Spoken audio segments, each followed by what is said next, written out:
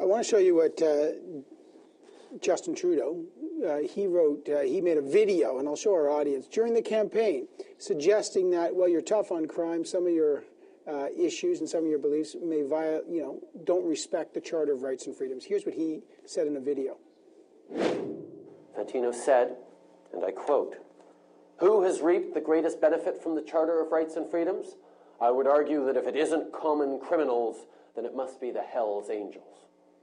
Fantino also said, I never believed the Charter was designed to invent unreasonable and truly mind boggling schemes to protect criminals, but to a large degree, this is exactly what has happened.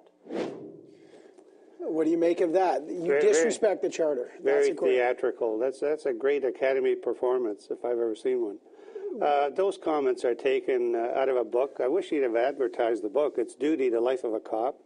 It goes on for several hundred pages. It has uh, quite an insight into victimization and the issues uh, that are pertinent to the Charter. That's very selective, and God bless Mr. Trudeau for being so theatrical about it. This is serious business, and he's making a lark of it. He, he's saying, though, that, uh, I mean, comment on exactly what he's saying. The Charter was designed to invent unreasonable and mind boggling schemes to protect criminals. If you take it in context, what he's saying is, let's hug a thug. He hasn't been where I've been. He hasn't dealt with victims like I've dealt with victims. He's taken a small package. but is uh, the Charter part of the hug a thug he- business? he- some of it is. The interpretations, in some cases, given from the Charter that have been reversed by Supreme Court rulings. I mean, it, it's been a, a, a seesaw back and forth of rulings and counter rulings and, and, and things that have been done by courts.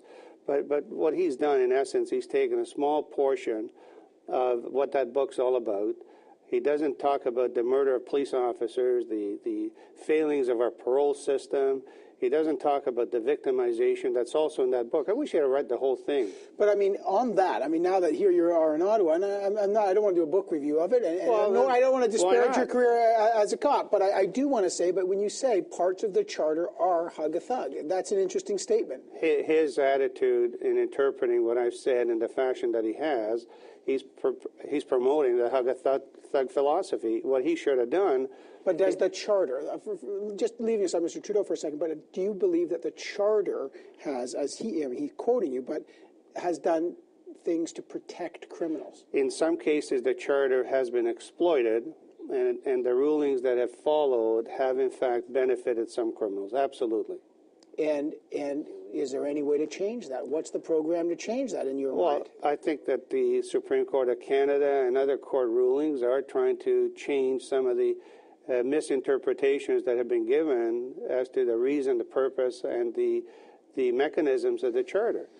So that that so, so you're saying the court. So the I, I just want to get this straight because it's interesting. Is it the charter or is it the court's interpretation of the charter that's been destroyed? The distorted? interpretation of the charter, as has happened in many cases, has in fact provided a great advantage for criminals. Okay. So, but is it because the charter's left the door open and how the charter's written? Are you critical of the charter or are you critical of the courts? I'm critical of the the the consequences of the charter that has allowed criminals in many cases to get off and not be held accountable for the crimes and victimization. Uh, Julian Fantino,